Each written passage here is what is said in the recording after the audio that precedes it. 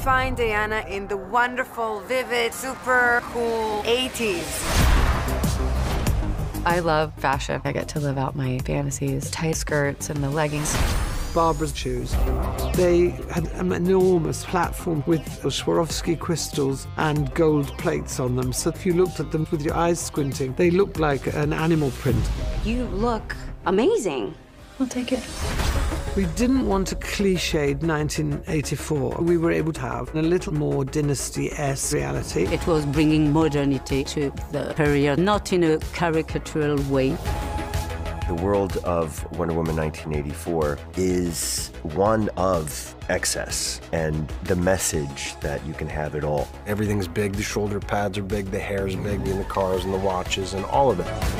Life is good, but it can be better. All you need is to want it. Patty's vision is so ambitious.